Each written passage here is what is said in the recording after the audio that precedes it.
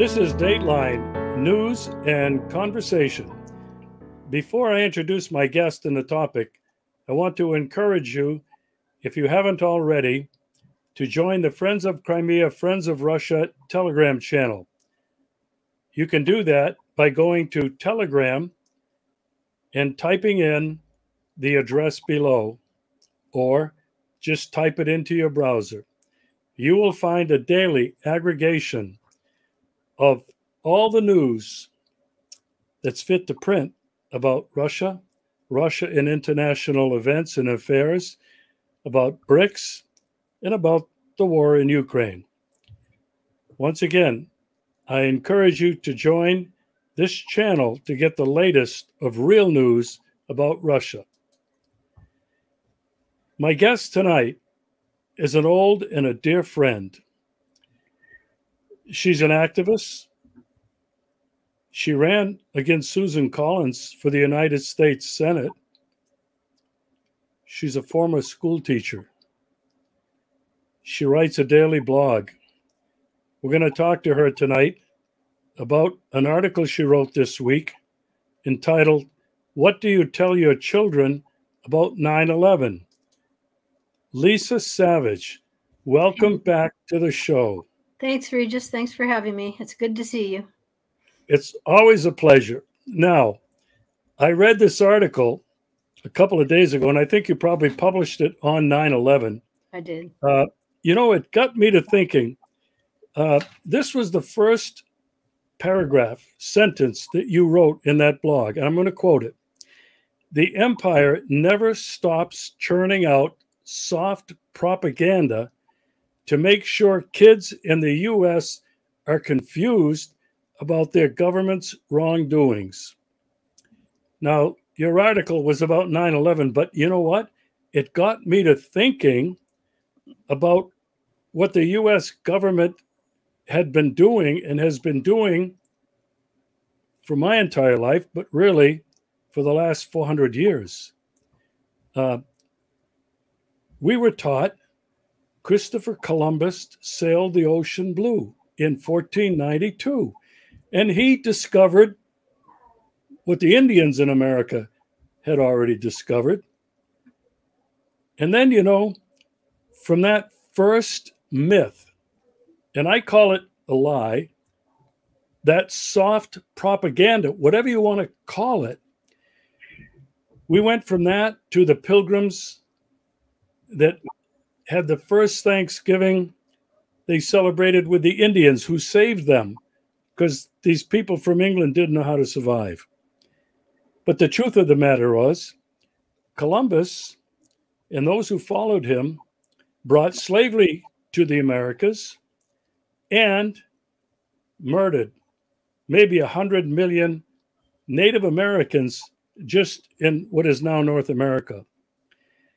And it was one myth or one soft propaganda story that we were told growing up. And it's over these 400 years. And it's all been, I think I like what you call it, soft propaganda to make sure that kids, and when we grew up, were confused about their government's wrongdoings. And then, Lisa, I thought about something that I've been focusing on with several of my colleagues and friends in this part of the world, from Serbia to Germany to Australia to Norway to Sweden to Armenia to Abkhazia. And here in Russia, is the use of soft power by the United States to influence the thinking and the values and the culture of these countries to sway them towards the American and Western way of thinking, economy, and values. It's been devastating, but people are waking up to it. And this is what I want to talk to you about tonight. I really enjoyed this article. What do you tell your children about 9 11? We probably also could have said, What do we tell our children about JFK? Um, it's in the same genre. But what motivated you, Lisa, to write this article? Well, I write my blog, uh, Regis, mostly for the purpose of keeping my head from exploding when I view the current events of the day and the trends of having been a history student in my youth and teaching history and other subjects for many years. Um, I basically write my blog as a you know release valve for my frustration over how what a waste of resources my imperial government is and you know intends to continue being um, but of course when you have young children either in your care or in your extended family or as students um, it's tricky to know how much uh, to tell them how much truth they're developmentally ready to handle. And of course if it's not my own child there's the issue of is this what you know are their parents okay with uh, what i'm saying? But you know i've been a blogger for some years now. Every 9-11 i tend to think about and write about those events. Um, one of my own children was still at home when uh, the uh, events of 9-11 happened and was and the internet was just coming into being and he was of an age that he became obsessed literally with the events of 9-11 for years. And after four or five years of it he did a research project in school that um, impressed his teachers about 9-11 but um, you know uh, time goes on. My hair is gray now. Now there are grandchildren young young children in the family again um, when i say soft propaganda i don't necessarily mean history textbooks. I completely agree with you regis that they misled us willfully misled us. Um, but i would consider that just straight ahead propaganda. Soft propaganda is uh, masquerades often as entertainment, uh, culture, uh, literature, those kind of things, so that you you get the uh, information in wrapped in a sweet, you know, sugar coating of uh, something that's pleasant to ingest. And I've been had this on my mind because my husband was reading to uh, some of our, our young grandchildren at bedtime, and when he came out, he had the library book about I survived the you know September 11th, the Twin Towers, which is a series of historical fiction aimed at kids. And he said, my husband was like, "Whoa, you know that that was that was not a good book necessarily." Um, and so it started me thinking that I probably should say something to the child that uh, really really likes that series. You always don't want to tell kids what to think. You're trying to help them know how to think. But at the same time uh, there's never going to be a crack in the facade of imperial soft propaganda where a young school age child is going to see the reality peeking through the cracks you know it's pretty much a seamless front to them and so to say you know, because they're seeing it on TV. They're seeing it's every sports event is going to have, oh, the heroes of 9 11. And there's a lot, a lot of mythology about that event. I began realizing 10 years ago teaching school, oh, they have to work hard to keep 9 11 current with kids because they didn't, they have no idea what 9 11 was. And I would say, you know, as opposed to JFK's assassination, um, about which I have similar uh, suspicions and questions. But again, kids today, JFK was assassinated. That's not a a historical event they know about. But you know, this per- the young person in my family has now become obsessed with uh, telling telling their cousin, "Don't go to New York City. That's where the twin towers fell." You know, that kind of mythology of "Be scared, be scared," and um, you know, telling telling the truth that hey, your government, you know, was complicit. I didn't use the word complicit, but you know 9-11 was done by your government and then realizing i also need to warn them schools just starting here in the states and if you say this at school people will probably get mad at you um, i'm confident that you know that child's parents are okay with me saying those things um, and that it becomes an overall question when you're educating is exactly how much truth are you going to tell. The 9-11 truther thing is interesting because um, at the beginning of uh, the um, war in Afghanistan, or even more particularly Iraq, there were a lot of infiltrators in the anti war movement that presented themselves as 9 11 truthers, like they wanted to, you know, and people, it takes people a while to figure out a deception that big, the pandemic, the 9 11, you know, it's huge and it's right in your face and takes a while to sort through the I always look at, well, what was it used for? These events, you know, I don't know who exactly planned them or carried them out, but what was the event used for? What was the aftermath? Patriot Act, creation of the Department of Homeland Security, you know, and so forth. Um, but I think that it's important to, um, you know, be honest with kids and help them sift through all this cultural claptrap. One of the things I found encouraging recently is, uh, you know, um, the willingness of a military age person in the United States to consider enlisting has been dropping like a stone since the war's since 9-11 and it's now at 9% so people that are qualified to enlist and are of the age band that's considered only 9% will even consider it. Um, and even military families are telling their children don't enlist. You know it's you're just fighting for corporate profits. It's not what they say it is and so forth. So in some ways all this propaganda isn't working. There hasn't been a sports event since 9-11 that didn't have some kind of patriotic you know support the troops thank you know and so forth it's 24 7 in america but it's kind of not working because there are more homeless people in every single city in the uh, us constantly visibly suffering living on the pavement nobody has adequate health care. Even those of us with good health insurance don't have adequate health care in the US. And um, there are just so many things that, you know, the infrastructure is crumbling, uh, the inflationary, uh, especially cost of rent uh, uh and home purchases and food have skyrocketed and they're not going down. So people know things are wrong, uh, but they tend to, it's hard for people to delve into that level of mythology about 9-11 what i started to say about the infiltration in the anti-war movement is they were very disruptive. They were insistent on telling their their version of the 9-11 truth story and they would storm the podium at an anti-war conference and try to yank the microphone out of your hand type of level of disruption. You know most of us were kind of on to them and tried to you know uh, go on with our work and let the let the disruption subside.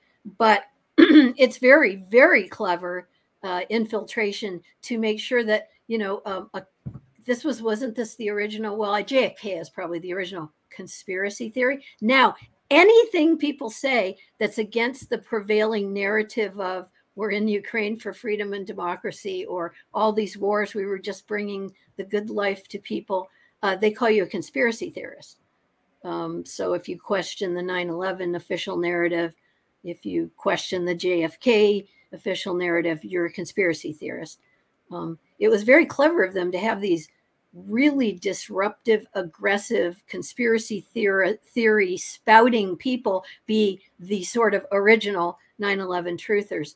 Um, I can remember uh, uh, my youngest child saying, uh, he again he was obsessed with 9-11 for years and he read everything and followed everything. And i can remember him saying to me oh you know the, the anti-war movement nothing good in the anti-war movement will come of you know you aligning with the, with those people because he saw them as sort of um, right-wing disruptors. Uh, but the you know the distinctions between left and right are becoming increasingly uh, less meaningful here in this country. It's really about the 1%, the billionaire class, and the rest of us that are, um, you know, barely hanging on to being able to take care of ourselves and our families. Um, so it's probably risky for me to, to, say what I believe is the truth about 9 11. Um, but I was lucky enough to have parents that were willing to um, question the prevailing narratives and ask, you know, they always, my dad always sent us off to school in the morning saying, ask smart questions. Um, and uh, so I feel lucky to be able to pass that on to future generations. And I was very glad that the the child that I shared this with, you know, your government was involved, and they'll get mad at you. Some people at school wouldn't want to hear that. He was skeptical of both those statements, and that made me feel good. He should be skeptical of those kind of statements. Um, so that's why I wrote the blog post reflecting on my adventure and, you know. I, am with you on all of that. Absolutely, all of it. Um, it's unfortunate that uh, most Americans, Europeans, can't wrap their heads around it. But I'm going to get to that in a minute. Uh, I want to get back to the soft propaganda that they use in the classrooms. Um, in your blog, you talked about a publishing company, Scholastic, mm. Which does you and I quote a lot of the heavy lifting around selling pro-war, pro-imperialism narratives to kids. Lisa, you were a school teacher. You know how it worked. Tell me because I'm not really aware of it. So, I, yeah. I didn't teach. I didn't teach. I, I taught high school for six years in the 70s. There was none of it there. Yeah, a recruiter would come to school, would talk to some of the kids that were interested, but that was it. So, what were you talking about with this publishing company? Yeah, this is more for younger kids, really, because um, Scholastic is a publishing company that publishes hundreds of trade books, fiction and nonfiction titles intended for uh, children. And they do a, a, very packaged turnkey book fair for schools that meant all the schools that I worked in in Maine, anyway, twice a year would have this book fair, usually uh, set up in the library uh, where kids could come and spend money on uh, not only books, but, you know, little erasers and that sort of thing. It was a popular a thing. Uh, this it would generate free books for the school. Scholastic is a company that generously gives away a lot of free or very low cost materials to teachers. and um, but over the years, over decades of watching uh, their content, I would say it is very militaristic. Their historical fiction is a very, very traditional view of settler colonial, um, you know, uh, we are always the heroes. The white people are always the heroes, and the indigenous people are always the um, not the heroes of the American history story. And um, so these books are pervasive. Uh, kids take home book orders. Teachers earn classroom books by sending home an order sheet, and people, kids can order from Scholastic and other companies. But I mean, I have for years seen books in the Scholastic Book Fair that literally have GI uh, soldiers dog tags, like um, you know, for kids, a replica that they could wear around their neck on a chain, like soldiers. Um, and the book would be in camo and a lot a lot of the titles are going to be about wars. This i survived series has been popular for a really long time. Now they're redoing the series as graphic novels and some of them are just natural disasters. Some of them are um, uh, you know disasters like the titanic but a lot of them are i survived pearl harbor i survived 9-11 i survived the revolutionary war i survived the civil war you know, U.S. history is only taught as a series of wars um, in which history began with white people coming to this continent, even though there had been indigenous people with highly developed, um, you know, ways of living and cultures here in this continent for tens of thousands, if not hundreds of thousands of years prior to Europeans bringing their version of civilization and culture. Um, but that, you know, that's just a standard that's what I mean by soft propaganda. It's the mindset and the, you know, just look here is what propaganda does best. Nothing outside this. Now, of course, good teachers are looking way beyond scholastic for their classroom libraries, their curricula, but you cannot save, you would have to go live in the woods and homeschool your children to ever keep, to keep them from being in contact with this very commercialized education culture I'm talking about. There are many, many more examples of commercialized pub public, but commercialized education in the US because everything is commodified here. Nothing is a human right like education. Uh, you know, it's always a profit opportunity for somebody. And um, so this I Survive series is particularly pernicious, I think. It appeals um, to especially uh, those kind of historical fiction appeal to kids that age. You know, they don't know about what happened before. I'll tell you a funny story. I once had a prospective student. I hadn't had him yet for ninth grade social studies, but uh, he. I was at a barbecue in the summer, and he was there, and um, I knew he was going to be my student. So I said, you know, is social studies a subject that you like? And he said, well, I used to like it till we had to study the pilgrims every year. And I said, really, every year? And he said, well, yeah, pretty much.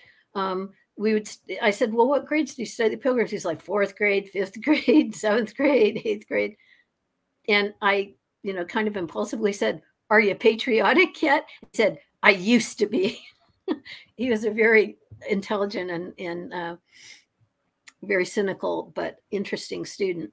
um, who was just again he you know he could see it um, but it, it is invisible to many that you are being sold a very narrow little tiny window to look at reality through and that's all you're supposed to see um, even in high school uh, history classes it used to it used to be the case that you never uh, teaching U.S. history. They never even got as far as the Vietnam War. They would get as far as usually like the Civil War, maybe World War One, uh, and then you know World War II would be rushed in the last couple weeks of school. Maybe that was before the Hitler Channel. They call hit the History Channel is called slang the Hitler Channel by high school students because every other show is about how America won World War II and vanquished Hitler, saved the people in the concentration camps, which is of course silly because the Soviet Union uh, defeated Germany, and um, the uh, you know Americans uh, flew the Nazis to the U.S. to become rocket scientists and biological warfare specialists for us. And uh, gosh, they're still here. You know, they the, the first head of NASA uh, was such a person, but nobody ever gets taught that. You're just taught this narrative of, um, you know, World War II as being this heroic effort by the U.S. Um, you know, it, we just have a sort of historical amnesia in this country, and it's by design. And most people couldn't even really tell you much, probably, about the dropping of the atomic bombs on Hiroshima and Nagasaki. And if they did, what they'd say is, well, it saved a lot of, uh, you know, uh, U.S. soldiers' lives and Allied soldiers' lives because we didn't have to do a ground invasion of Japan. That is nonsense. Japan was already in the process of surrendering when the first bomb dropped, not even to mention the second. Um, so, you know, a lot of people think it is implausible to them that your own government would stage something like 9 11 and kill that many people just to ram some bad laws through. Uh, but if you look at the fact that they bombed Hiroshima and then Nagasaki just to test a different kind of atomic weapon to just to show the Soviet Union, like, hey, you know, we've got these terrible weapons and we're prepared to use them on your civilian populations. They never teach you history like that in US public schools. So I enjoyed being a renegade. I probably get run out of town on a rail these days, but I've been retired for a couple years now. Um, and, uh, you know, if you don't know the truth about your history and what your country has done, you can't really understand geopolitical reality now, can you? You don't really know uh, where you came from and uh, where that could lead. So, but the US populace is kept in a state of ignorance deliberately so that they don't object to these nefarious schemes of starting World War III because that's going to benefit who exactly? Yeah, you know, uh, it wasn't until very late in life that I woke up. Um, it, it, took a long time. Uh, going to Rome to study uh, for four years, 1968 uh, to 72, began to open my eyes about how other people saw the United States and the history of the United States. My undergraduate degree was in United States history. And I never learned the real history of the United States until many years later when my eyes were open and I began to research it. Now, you you said something else that gosh, I think was so important. You said consuming stories about peril like fantasy tales or historical historical fiction is a way to process our fears as fragile human beings. I want to talk about fear now just for an, a, a, bit. Uh, you can go back all the way back in history as far as you want. All these wars were really about instilling fear in the American people. There was some Hitler or some evil person that we were afraid of. And it was fear that mobilized, I believe, the American people. It's fear that mobilizes any people. The assassination of John F. Kennedy there were a lot of reasons for that. He made a lot of enemies. He wanted peace with the Soviet Union, with Nikita Khrushchev. Oh my God, the Soviet Union was the greatest fear, the greatest peril that existed, and Kennedy wanted to make peace with them, to end the Cold War.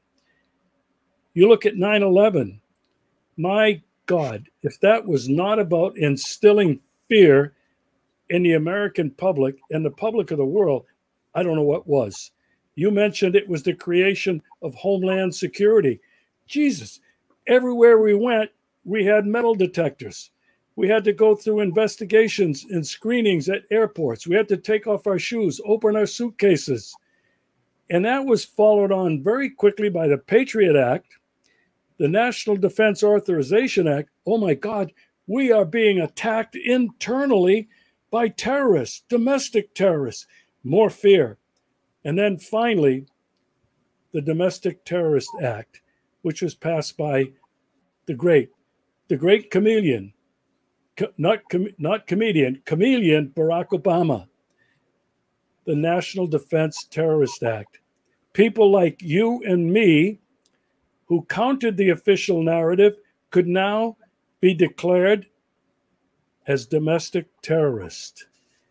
When you talk about instilling fear in the public, and I'm thinking about what you wrote in your your blog about how they instill this fear in our children with these fairy tales or historical fiction. Talk to me a little bit more about that because kids are so impressionable, but you know what? So are most adults. That's for sure. Well, I think that you know uh, the human um, tendency to feel fearful is inborn. I I don't think fairy tales necessarily are causing the fear. Fairy tales are popular, especially with kids. Adults will always often say, "Isn't this too scary?" And the kids like, "No, no, keep going." You know, because kids have fears. They fear that the dark, and they fear that adults won't be there for them, and that they might get hit by a car, and lots of things. They fear that their parents seem worried and fearful. Um, but our government certainly, as you said, Regis, deliberately preys on our fears and magnifies them and interprets everything through that lens. Um, if we were a healthy society, we would be helping children uh, feel less fearful, not more fearful. You know, the word threat, when I read the bureaucraties uh, propaganda that spews from the State Department or the White House or the Pentagon, they often use the word threat. Like, China is the new threat, you know, and if you hear it enough times, you believe it. But if you're really paying attention, you realize, like, you know, China hasn't invaded anyone, started a war. The U.S. is the threat. If there, if there is a country that is the top of everyone's threat list, and many uh, surveys have shown this, you know, international surveys, who do you think is the most dangerous country? Hands down, it's the United States. We're the ones always uh, sending our bombers and just you know bombing randomly uh, countries that we want to control the natural resources of. They never really delve into that aspect of the story when they're telling kids about a war. It's always one side is false dichotomy is very important. There's two sides one's good one's bad and you know the, the hero's always on the good allied with the good side and then everything's personified you know there's a main character who is under threat who is vulnerable and the adventures of this person and bringing them to safety. You know, it's a classic literary uh, construction, but it's put very much in the service of this soft propaganda about U.S. history and about um, America's standing in the world. This is the basis of what is often termed American exceptionalism. This is why American children grow up or you know in the US thinking that we there's something exceptional about our country and our culture because they get you know sold this uh, line many many times. Um, and until you travel abroad just like you said when you first went to Rome you suddenly see our country through other eyes and talk to other people read their newspapers or uh, watch their TV and you start to realize how limited your point of view has been um, so, but you know, the consensus is crumbling. You can manufacture consent for a while, especially in a society where, you know, a, a good chunk of the people are reasonably affluent. Nowadays, a good chunk of the people are uh, reasonably struggling to pay their bills. It's always been the case for uh, people of color, the indigenous people also that their resources were stolen. Nobody ever had this great America that all the groups said, yeah, those were the good old days. You know, people of color would say those were never the good old days. Now, white working class people are realizing, wow, this isn't the good old days. Um, so, but I see the propaganda ramped up, you know, more and more vociferous all the time, but it's working less and less. Uh, so, I think that the evil empire has its back against the wall at this point with multipolarity breaking out all over the place. And probably their proxy war in Ukraine is going to be seen in historical hindsight as the place where they really stepped wrong. The war on terror, too, were horrible mistakes, but I think this was their is going to be their fatal error that will unravel NATO and you know the domination of the world. I'll leave you with one last scholastic image, Regis. There's a book called Diary of a Spider. It's just like a pretend book, a made up spider character. One of my other grandchildren loves spiders, so I've read this book so many times. And one of the fun facts is hey, if it weren't for spiders, insects might take over the world because spiders eat a lot of insects. The illustration Scholastic chose for that page shows an insect dressed in a suit and a red tie with the seal of the President of the United States behind him and two flags on either side. This is the visual that Scholastic offers like third graders for taking over the world it's subtle, but you know, not once you start really yeah. looking at it, realizing how do they get away with this stuff? You know, they do, and it's powerful. Um, when you talk about instilling fear and propaganda, uh, I've recently had brief conversations with one of my children and a couple of very good longtime friends. They stated very clearly and emphatically Vladimir Putin was a dictator, an assassin, a killer. They stated it as fact. And then they, they went on to say the Russian government is bad.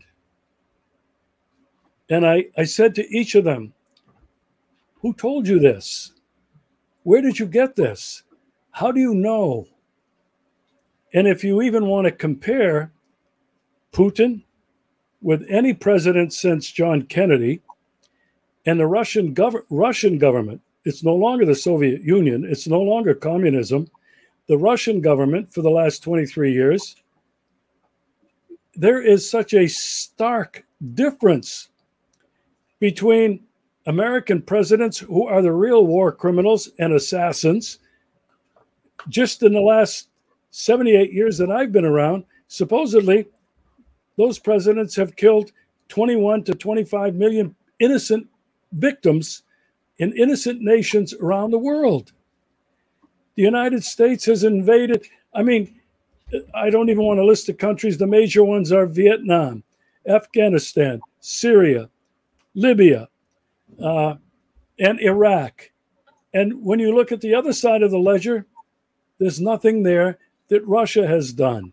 Oh, they'll mention Georgia, they'll mention Chechnya, they'll mention South Ossetia. These were all territories that Ru- Russia was obliged to protect with their own security alliances. These people are totally unaware. And it just emphasizes how powerful the propaganda and the fear factor is mm. in making people absolutely blind and not open to reality. Now, well, you and I have discussed before uh, uh the the whole thing of in in the U.S. they took uh, made Trump into the liberal media made Trump into just the boogeyman beyond you know he was just evil incarnate, and they linked Trump with Putin constantly in their news coverage so that once Trump was no longer in office, um, they it was very easy to just slot Putin into this whole hate, uh, you know, sort of structure that most liberals in this country had built for themselves, and the you know the vehemence with which they denounce uh, Putin is really they don't really know anything really about Russia or its president, um, but they have you know uh, consumed a lot of hard propaganda on that subject, um, so they they think they know. Um, but you know, part of what's happening is that people are being set up to always. This is what I mean about the Hitler Channel. When I was teaching high school, you know, 20 years ago, um, why were my students chuckling and going, "Oh yeah, the Hitler Channel, haha! Everything on there is about how bad Hitler is." Well, once Americans all have that construct firmly implanted, then you just need to say, "Oh, Putin is the next Hitler," or whoever is the next Hitler, and you know they've got the concept ready to go. Like the personification to me is silly too. Putin obviously has, you know, some power and certainly some standing in the world compared to our president Joe Biden, who is clearly losing, you know, is is in the stages of dementia.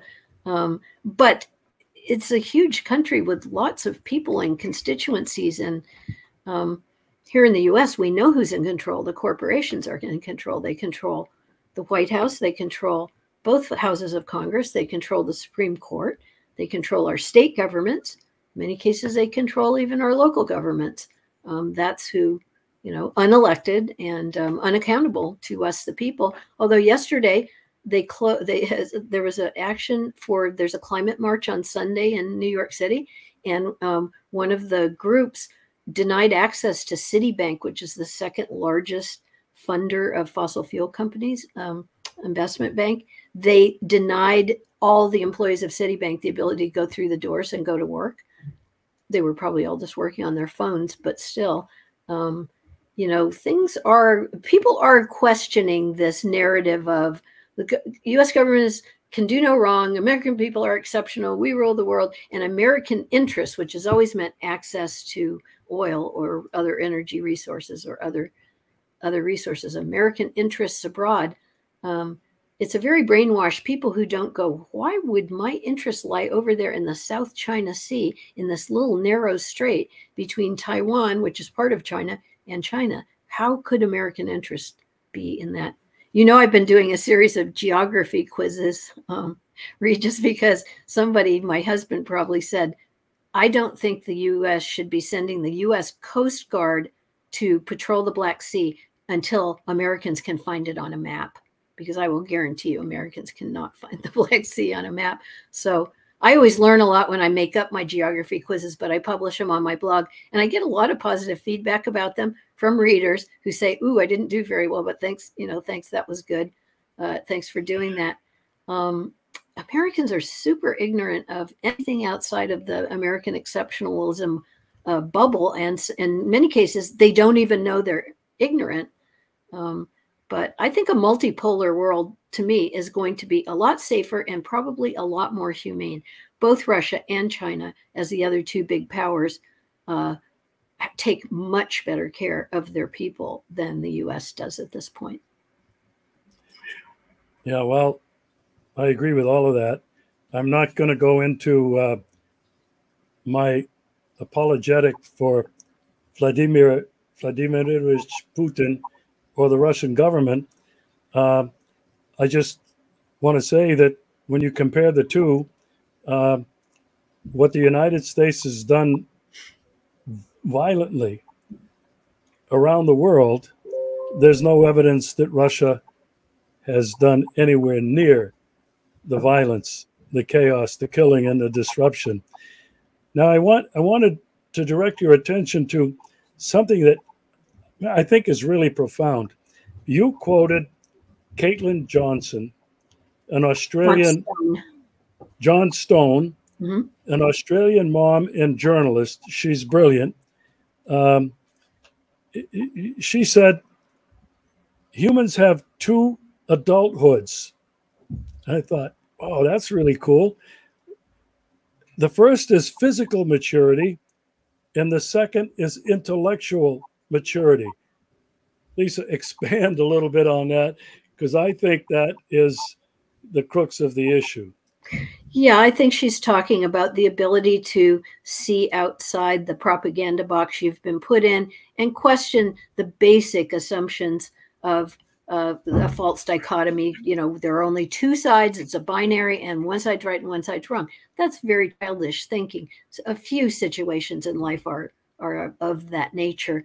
So, um, you know, Caitlin's uh, Australian. Australia is not unlike the U.S. in this regard. I have some family there, and I've been there, and it's it's not much different. But she's married to an American, and of course, America is a much much bigger force for violence in the world than Australia has been.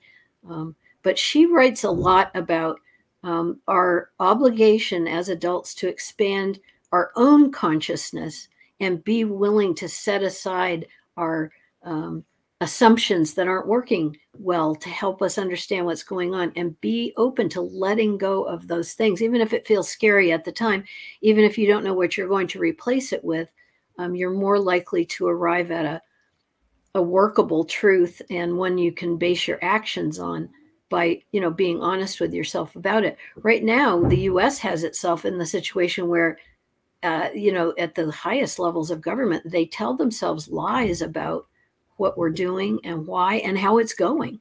Um, and then make decisions based on that wishful thinking those wishful lies that they told themselves. That is not a recipe for success. Um, if you're going to succeed in the kind of violent competitions they insist on entering into uh, you've got to be very realistic about your goals and your resources and your opponents and their you know when's NATO, when when's the last war NATO won? Um, we NATO just makes wars but it destroys countries. I mean poor Libya. You know tens of thousands of people died in flooding in Libya because the dams burst that haven't been uh, properly maintained since the NATO took out Gaddafi's government that was taking care of its people um, because he threatened to uh, bring Africa's Africans together with a common currency and a com- an economic cooperation. Can't have that. Um, took him right out. But now that there are more catastrophic weather events all the time, many of the countries that the U.S. had or you know it's it and its nato buddies had bombed into oblivion are really not in a position to sustain a huge flood or um, you know look at pakistan too uh, you know where we just took out their democratically you know elected um, popular prime minister because he wasn't cooperative enough with the us and so Imran Khan had to go. The U.S. has been operating like this since World War II with impunity, but uh, if you're a thinking adult, you're you're going even if you're benefiting from the empire, as I do from you know living in an affluent and comfortable life in the U.S. Um, it's going to come to an end sooner or later, and um, being clear about where we are uh, is the only thing that's going to save us from you know an, an all-out nuclear war. We're perilously close right now. Um, back in 1957, Mao Zedong wrote uh, something to the effect of uh, many people are talking about the danger of a third world war right now. This is 1957.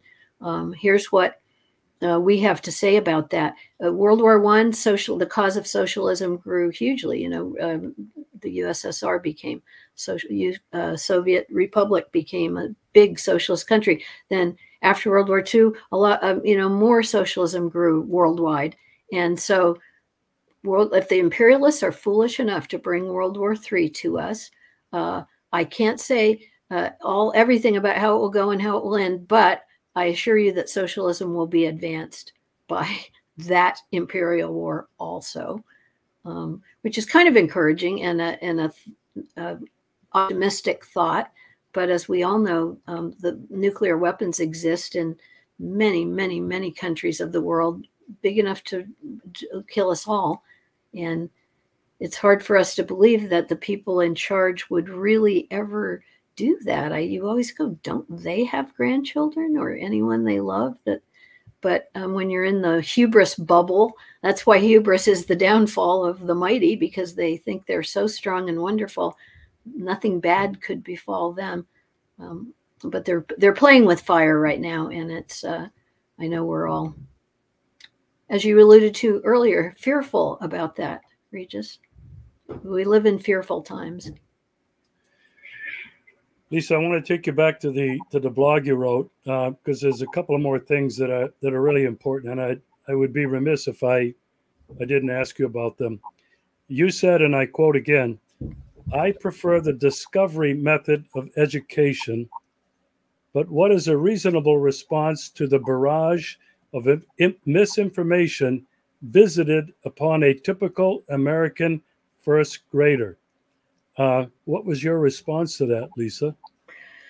Well, again, uh, a first grader doesn't have enough um, background knowledge to be able to even have the question could my government have been how did 9-11 happen without my government allowing that and you know enabling that to happen but it's different at different developmental ages you know for adults the question that makes them open their mind would be quite different or statement that you might tell them um, i recently saw a film i really recommend to you uh, and your uh, viewers if they can see it called israelism it's a documentary that a young uh, someone who grew up with with my youngest um, kid. So I've known him for years. Worked on, and they showed it at a film festival here in Maine.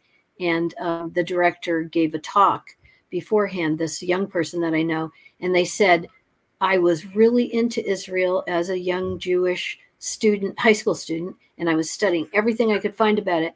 And my teacher, Mr. Ramsey, who was also a teacher that a couple of my kids had, my own children, said, uh, what do you know, Eric? What do you know about the Palestinians? And that was all he said to Eric. And 20 years later, he's produced this documentary that's really interesting about how um, American Jews sort of, many of them replaced the Jewish religion with the Israel religion. Um, they weren't very religious as those, you know, post war generations, but uh, faith in Israel and adherence of Israel, no matter how wrong they might be. Oh, you always have to defend Israel. Became almost like a religion. It's a real interesting film. They do a good job of arguing their uh, thesis, and um, you know that's what I mean by discovery education. Uh, you know, it's asking the right question, opening someone's mind to a possibility is much more deep education strategy than just you and I, when we went through school, Regis, it was basically sage on a stage. In other words, the teacher was at the front of the room spewing knowledge and you were supposed to be taking it in. And some of us do better under that method of education than others. Many people find it very, really, experiences are the only thing that we learn from. And um, so I, I liked Montessori education, that idea that the teacher's job or the parents is to set up a um, an environment that is conducive to the child discovering through play and experimentation you know something that they they need to discover next um, that's not how the system of american education has typically worked at least in my lifetime yeah uh, my three children uh, went through montessori uh, the youngest one several several years. The two older ones were uh, like middle school and then high school, uh, a bit of high school, and I couldn't agree more. Uh, then I homeschooled with my wife at the time, the two youngest boys, um, precisely because we were trying to teach them how to learn and how to think for themselves. And I have to tell you that my entire education, which I thought was really good in many ways, was about taking notes and passing an exam. Four years of Jesuit education in Rome was never about raising your hand, never about asking questions. It was going to a lecture, taking notes, and then taking an exam, feeding back what they gave you. But in that process, I became somewhat of a cynic. I was a prisoner of the educational system. If I wanted to succeed, I had to do it. I had to I had to play the game. But it was because of that, at that stage in my young adult life, that I began to question everything. And I really think that that process of discovery, not telling, teaching, but guiding children, much as the Montessori and other methods do, to help ch- children work together and to examine things from many different perspectives and to listen to each other. Now, Lisa, what do we tell a first grader about 9/11? Who done it? Was it was it Ahab the Arab? Was it uh, was it Osama bin Laden and nine of these cave dwellers that came over and flew those airplanes? What, do we tell them? Well, I put think I put right in my blog. Um, you know, your your government had you know was involved in 9/11. That was as far as I went with a first grader, um, because it doesn't really matter what the particulars of it are. If he becomes interested in that and wants to study it at that depth, you know, fine. But you know, the main thing uh, you don't you don't have to tell a first grader a whole whole lot about a historical event that happened for him so long ago. You know, twenty two before years. they were even born. Yeah, long before he was born. So um, again, you know, I don't I don't want to be heavy handed. And I certainly don't ever insist that a young person that either that I love in my family or that I have as a student, they don't have to agree with me. They don't have to believe what I believe. Um, and I respect them as a human being, as a fellow human being. They don't have to like school or be good learners for me to respect them as a human being. Um, but I I really enjoy being with curious you know, I'll leave you. I've written about this before in my blog. Another grandchild of mine was quite young, three years old, and was told by uh, the parents about Gaza being bombed that year. And um, so, the, you know, this child was very thinks things through and said, "What do you mean, like bombs, like dropping bombs, like on people?" And we said, "Yeah." You know, the parents said, "Yeah." Unfortunately, so uh, uh, my granddaughter made up a slow, uh, chant no no dropping bombs on people's heads she was at that young age where she and i can remember being that young and incredulous myself like what are you talking about what people kill people you know families children bomb cities what so she went around chanting it and she would tap it out she'd tap it out on the wall and say to me do you know what i tapped out and i said no dropping bombs on people's heads yes she'd tap it out on her baby brother's head you know um, so little kids can make a lot of sense out of information if it's presented to them in a way where they can process, they can ask questions. There's support there for their feelings about it because she felt strongly that that was wrong. And, um, you know, how could people not see that that was wrong? I love that about young children. Adults tend to get in this jaded, well, you know, it's always been that way. So we have to accept you know, it. We do not have to accept it. We don't. you know, you also wrote, uh, you know, your, your government may have been involved in it, but you you may go to school and say this, and some people will get mad at you. My goodness, this is really good advice for adults. if you say some of these in public, uh, people are going to get mad at you. Indeed. Not only will they get mad at you, call you a conspiracy theorist, a nut job.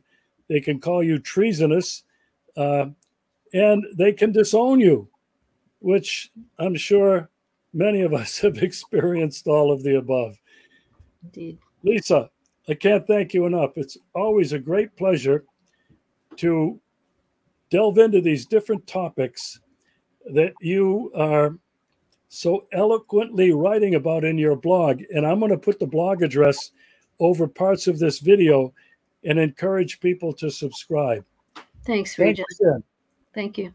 It's it's great talking to you, and uh, we're thinking of your safety, you and Tanya, every day, and the people of Crimea and the people of Ukraine. We think of you every day and hope that no one's dropping bombs on people's heads.